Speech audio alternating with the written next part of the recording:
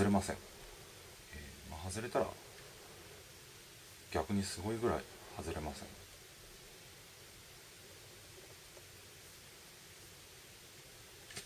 braided loop のすっぽ抜けっていうのは大体うんアロンが甘かったりとかここに変なチューブをかぶせるだけとかでブレーデッドループをできるだけ短くしたいことが原因でまあ長くここの部分を長く設定すればまず抜けることはないんでそこら辺はまあ自分の好みというかまあ別に長くても短くても困ることはないしアロンで止めちゃえば。まあこの定だとえー、どのぐらいになってんだ？うんとやばい定規がない。えー、長くて4センチぐらいを入れてます。で実際の作り方はうーんととりあえずこれはちょっと短すぎたから切っちゃって。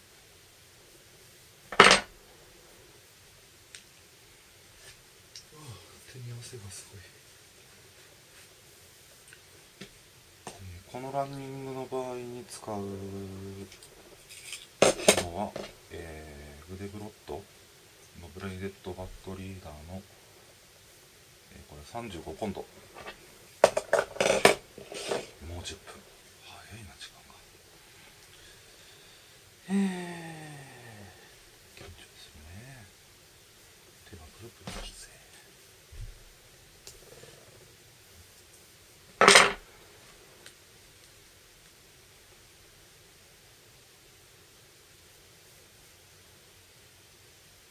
うんダメ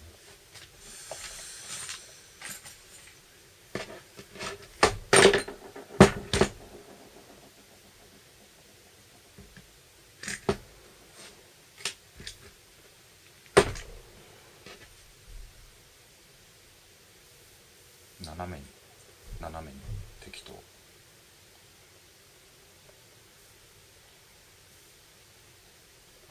でブレイデッドループをムニムニムニムニ。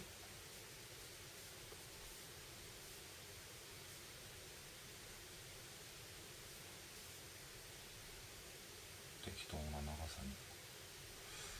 あんまり何センチとか決めないでまあこうやって入れ込んでって。何にもない状態で抜けないところまで行ってまあそれでも心配だったらちょっと1回2回ぐらいさらに長く入れ込んどけばまず抜けない。でえー、まあここから先は別にどうっつうことは何にもないんだけどりあえず単純な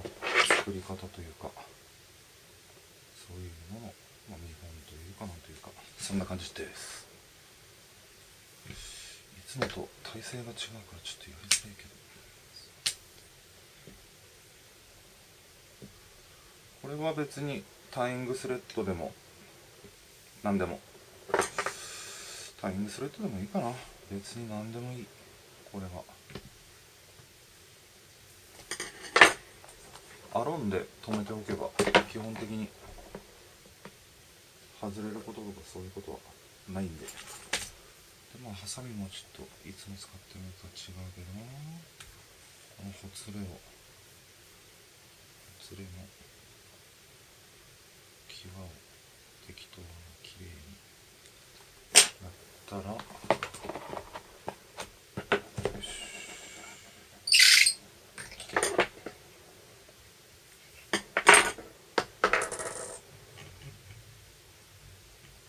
手が汗かいてる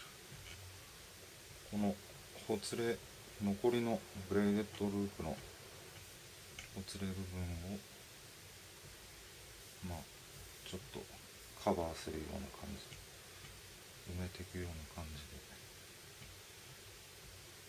うわ手汗がすげ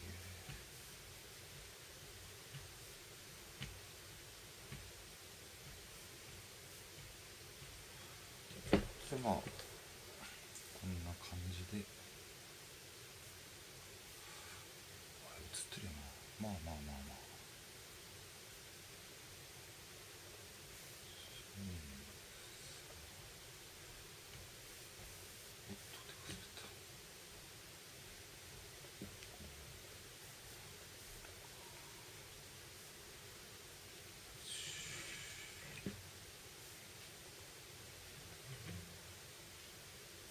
滑ったでこれでこれまあブレーデッドループの方の固定は OK で。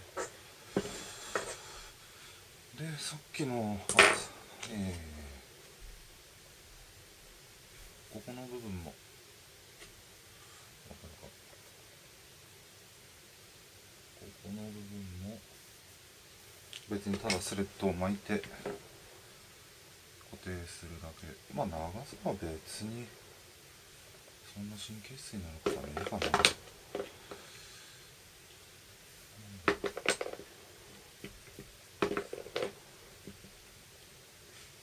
まあ長い方が安心。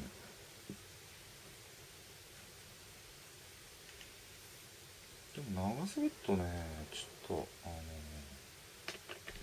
この部分をブレードループの中に入れるときにねちょっと引っかかるんだよね。まあまあとりあえず。うん。45ミリ？ぐらいで全然 OK なはずちょっ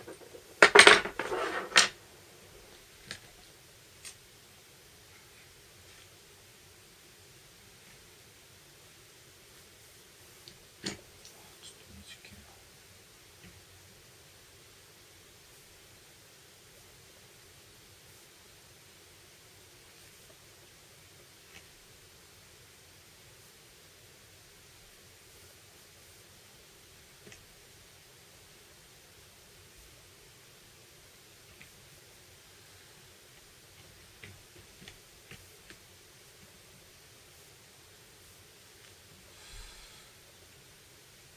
なでこれで、えー終了。あとはまあ気分的に。ちょっと色があった方がどこら辺まで入ってるかなっていうのが分かりやすいからこれはただのえー、マッキーマッキーケア。マッ詰め替えができるらしい。まだやったことないけど。でえー、ほつれ糸をカットしてカットしてカットをして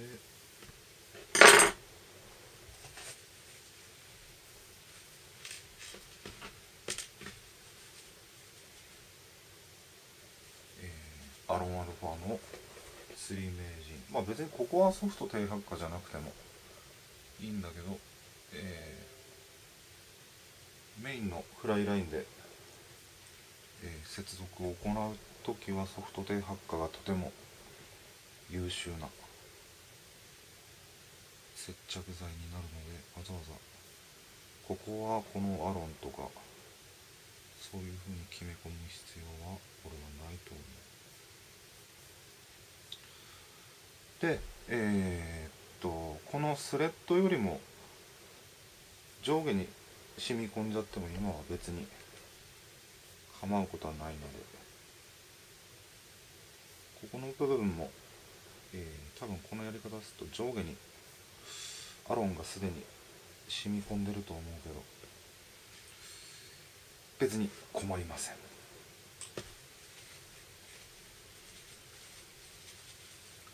でうんとまあまあまあこの状態でちょっと余分なアロンをぴょんぴょんやって弾き飛ばして。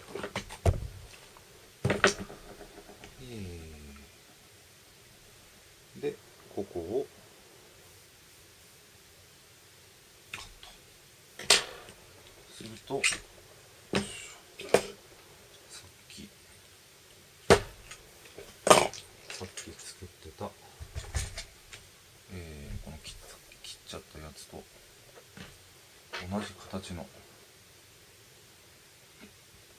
running line、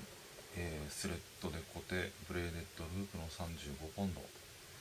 で、えーその braided loop の35ポンドがほつれないように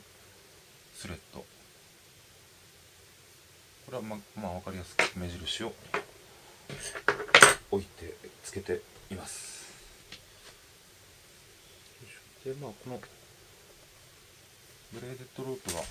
のエンド部分がょっとこのなんつうんだ？綺麗にあまり編み込める編み込んだ状態だとちょっと中に引き入れるときにちょっと引っかかるんでちょっと全部抜いて毛羽立たしとか感じでこれを、まあ、さっきと全く同じ方法で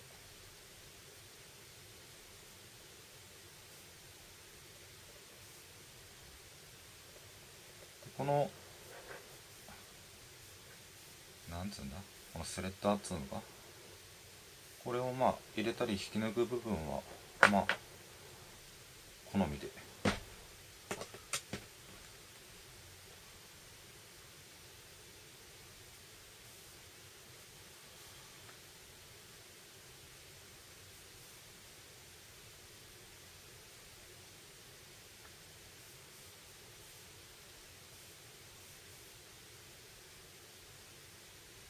な感じ抜けて抜けたら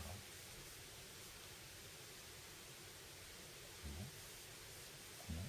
ケバケバしてるところこれちょっと適当にやったからループの位置とかずれてるけど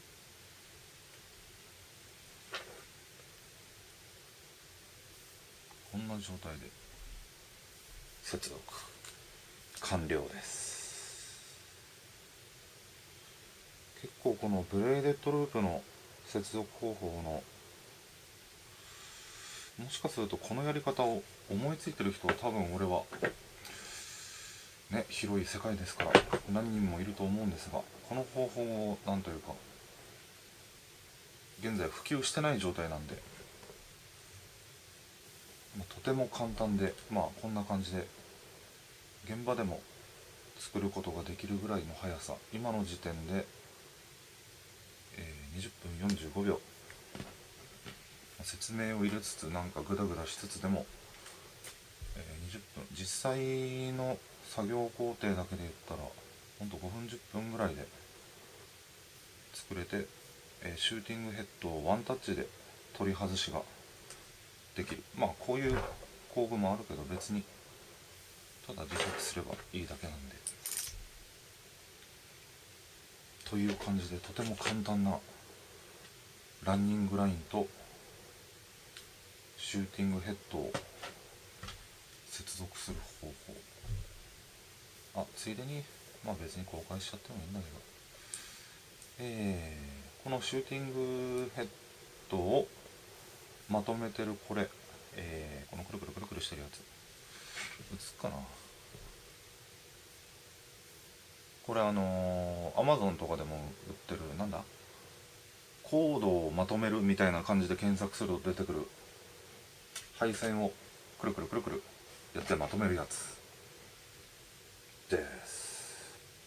あんまり長くなりすぎてもえー、っとああとあともう一個。うんとねフラットビームとかにえこのブレーデッドループのワンタッチをつけたい場合はえーまあ別に普通にや普通にやって普通にアローンでやっても別にうんちょっと長めにやればすっぽ抜けることはないとは思うんだけど。まあ考えてみてください。ちょっとあまりにもグダグダで長くなりなりすぎるのも良くないんで、えー、検査はだ、えーかっこいい、えー終わりにします。こんな感じで、えー、対岸の22日の大雪の深夜。深夜じゃねえな。やってます。できれば今日中にちょっとヤフーん？YouTube らへんに載せようと画策しております。ちょびちょびこういうまあちょっと面白いやつ。例えばこれなんかはねあのーポリリーダーなんかでただシンクレートをちょこちょこっと例えば、えークリアインターからスローインターに変えたいなとかそういう時のポリリーダーとメインのシューティングヘッドの先の部分元の部分じゃなくてっていう部分にも応用してそして素晴らしく速いポリリーダーの交換というのが役立つんじゃないでしょうか、えー、23分こんなもんで終わりにします。よいしょ。